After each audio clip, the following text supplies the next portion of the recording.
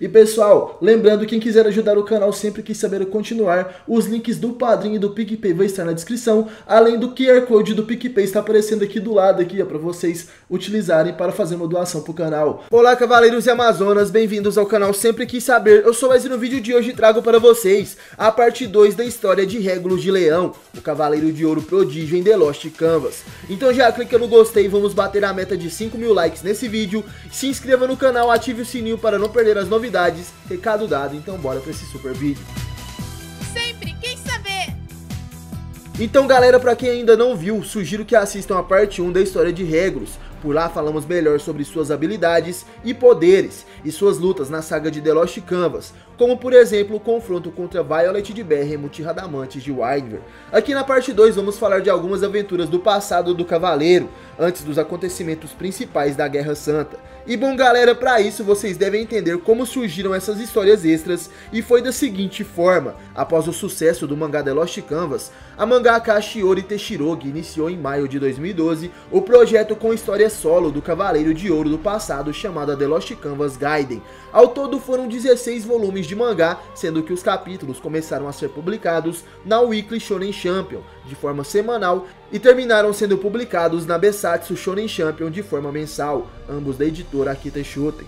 No Brasil, a editora JBC foi mais uma vez a responsável pelo lançamento, inicialmente em agosto de 2012 e com conclusão em novembro de 2016. E em meio a essas histórias, temos uma história solo do Reglos de Leão, lançada em mangá Tankobon no Japão, dia 8 de abril de 2013 e no Brasil dia 3 de agosto de 2013. E agora eu vou contar essa história para vocês. Capítulo 1, Balor do Olho Mágico. Uma pequena menina foge a cavalo pelas florestas celtas. Ela é Lady Connor e está sendo perseguida por sua segurança Failines. Ela vai em busca de sua família biológica, que havia lhe entregado a outra família para sua melhor educação, como é de costume no local. Mas a jovem soube de um ataque à sua terra natal e resolveu descobrir o que havia acontecido contra os anseios de sua mãe adotiva. Entretanto, no meio de sua escapada, a rédea de seu cavalo arrebenta e Connor cai sendo ajudada por Failines, que pede para que elas voltem. Mesmo concordando, a menina impedida por homens que usavam uma certa magia e se declaram como druidas, e lutam pela cabeça da jovem menina prometendo matar as duas. Nesse instante, a guerreira percebe de onde o poder dos inimigos provém, um olho maligno chamado Balor que pode dominar tudo e transformar um oceano em chamas. Apesar de lutar bem, Fairines não é adversário à altura dos poderes dos druidas, e está prestes a morrer quando surge um jovem com uma urna dourada em suas costas. Ele se mostra atrapalhado e diz ser sua primeira missão em nome de um lugar chamado Santuário, mas com um poder de ouro, afasta todos os druidas e se apresenta à menina. Ele é Regulus, o Cavaleiro de Ouro de Leão. Regulus é tratado com desconfiança por Failines devido sua idade e aparência, mas ela admite seu incontestável poder, então a guerreira revela que Regulus é a ajuda que o pai de Connor pediu ao santuário de Atena devido à sua proximidade ancestral, porém a pequena Lady se aproveita do ímpeto de Regulus e o convence a continuar sua investida até o castelo de sua família de sangue para saber o que aconteceu com seu pai para desespero de Failines. No caminho Regulus e Connor conversam sobre seus modos de vida e a ligação do jovem com a natureza, o que reforça a identificação que a menina vê entre o menino e Lug, que é o seu Deus, além do extremo amor que ambos expressam por seus pais. No castelo surge um homem que manipula o corpo inerte do pai de Connor, o Lord Murgias. E nesse instante, os druidas que há pouco tinham sido espantados por Regulus chegam e contam o que houve. Porém, quando o terrível homem está demonstrando seu poder aos seus druidas, Regulus surge sendo recebido pelo vilão que se revela como Quiet de Balor. Ele diz que está ali para matar todos com o sangue de Connor, Porém, ao ver seu pai, inerte, a menina tenta ir em direção a ele, mas Regulus a impede dizendo que irá esmagar aquele homem antes que ela corra algum risco.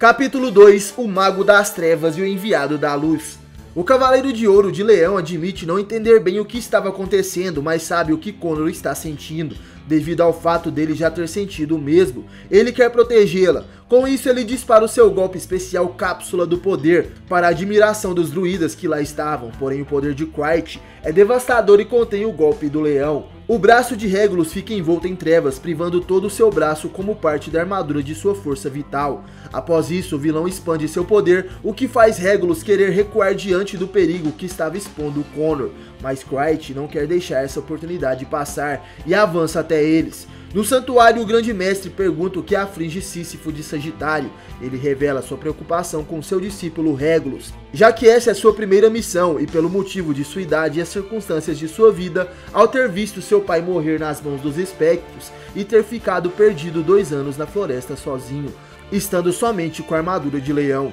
E apesar disso, ele alcançou o direito à armadura de ouro em apenas dois anos de treinamento. Ele é muito inocente. Contudo, o grande mestre confia que essa inocência será a vantagem de Regulus diante o desafio enorme que será os deuses pagãos da Europa celta.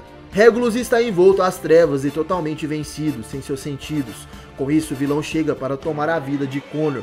Contudo, Regulus avista um pequeno facho de luz e se dirige a ele. Esta luz não é outra senão o local onde está o coração de Cryte, dando a chance para a intervenção de Failines que invade o castelo e resgata Regulus e Connor diante de um ferido vilão. Logo após a fuga, Cryte reclama de seu corpo novo e invoca um ser mítico, uma bela mulher que desperta com a missão de matar os três que há pouco fugiram dali. Ela é a fada Banshee. Longe dali, Regulus desperta ainda um espírito de combate e com o corpo e armadura com sua vitalidade completa, é confortado por Connor que explica o motivo da recuperação de seu corpo e armadura, dizendo que quando ele feriu o coração de Quite, ele acabou pegando o pingente que era do pai dela, e este tem o poder da luz de Lug que o curou. O que mostra que por Regulus tendo visto aquela luz, seria sim o enviado do deus da luz a quem ela presta devoção. Isso estranha Regulus que não escapa do sermão de Failines, por suas ações temerárias ao fugir com a jovem para o castelo, Porém, o cavaleiro entende que só poderá vencer aqueles seres se lutar como eles. Então ele roga que a guerreira lhe ensine magia. Capítulo 3 Além dessa luz, a sombra do pai.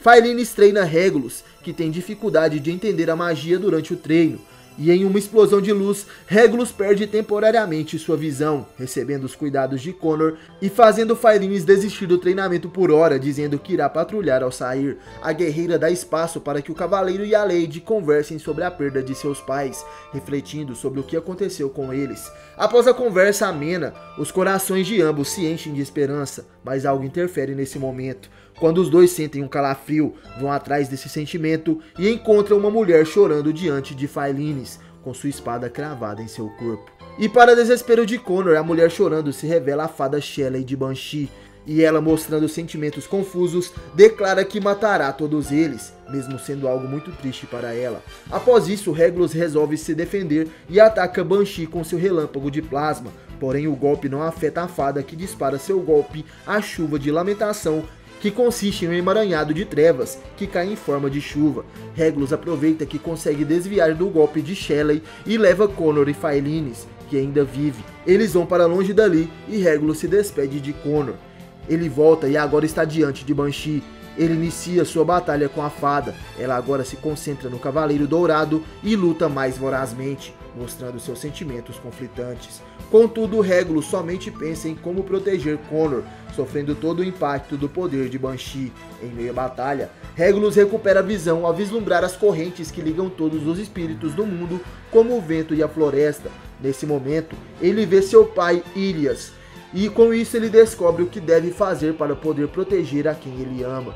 Nesse instante, Regulus consegue ver todo o movimento da magia que Banshee move e consegue se defender do golpe da fada, despertando um novo golpe, o Lightning Crow, que seria algo como coroa de relâmpagos, acabando definitivamente com a fada invocada para destruí-los. O Cavaleiro de Leão volta até onde Condor está e vê que a menina está sendo tomada por Kryte de Balor, que se espanta pela morte de Banshee, mas se mostra sem paciência com o Cosmo e com a armadura de Regulus, que brilham tanto quanto a luz de seu maior inimigo, Lug. Capítulo 4 Aquele que governa a luz. Regulus luta com Balor, que não mostra nenhum resquício de Kryte. Soltando Condor, ele dispara seu poder Darkness Nude, que seria algo como escuridão nude, que faz Regulus se esforçar muito para desviar e pegar Condor para protegê-la. Logo após o Cavaleiro de Ouro revidar com Lightning Crow, dizendo que protegerá a menina como seu pai o protegeu. Após isso, Balor o parabeniza por ter lhe mostrado algo novo.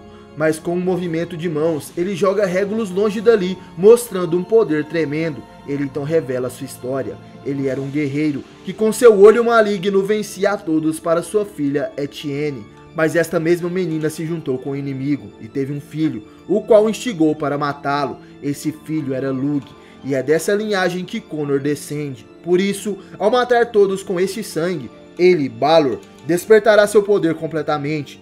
E nesse instante ele revela uma vestimenta com um olho maligno em seu peito e ataca Connor que é protegida por Regulus, que cai sem forças fazendo a menina falar que ele nunca foi traído pela sua filha, porque ele nunca a amou. O olho maligno que o dominava somente o arrasta para o mal, e o sangue que ele tanto apregoa de nada importa.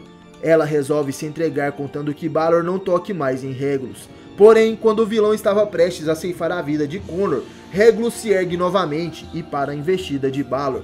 Regulus levanta com a ajuda dos espíritos da natureza e com a ajuda de seu pai, e agora desafia definitivamente Balor, que está enfurecido com as palavras de Connor.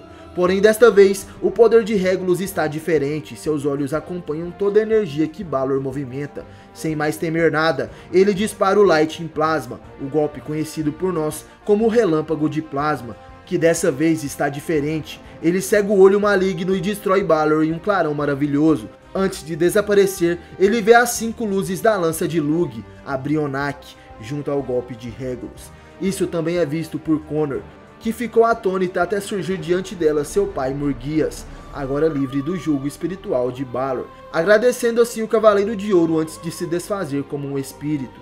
No santuário Regulus reporta tudo a Atena e ao Grande Mestre, que contam da preocupação de Sísifo, causando diversão para o Cavaleiro de Leão, que acha aquilo muito engraçado, mas Atena o faz ficar embaraçado ao dizer que ele cresceu muito nessa sua primeira missão. No lar de Connor, a Lady e Failines voltam para casa felizes graças a Regulus e à luz de Lug.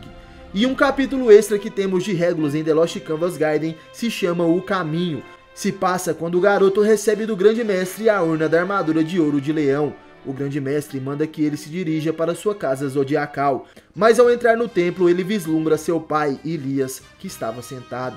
Logo percebe que estava enganado. Na verdade, aquele era um outro homem, o Cavaleiro de Ouro Asmita de Virgem, o dourado que diz que o menino é muito barulhento. Regulus se desculpa e diz que o confundiu com seu pai, e ele pergunta se Asmita é mais forte do que ele. E o Cavaleiro de Virgem diz que é sim e pede para que o menino vá embora logo para sua casa zodiacal de leão, que é a seguinte. Porém, o sentimento que fica em Asmita é de que aquele que acabou de sair de sua casa é potencialmente o mais poderoso de todos os cavaleiros daquela época. Bom galera, essas são as histórias extras de Regulus de Leão na saga The Lost Canvas Gaiden. Espero que vocês tenham curtido. Do mais galera, obrigado por assistirem o vídeo até o final. Valeu, falou, tamo junto e até a próxima. Você já sentiu o Cosmo?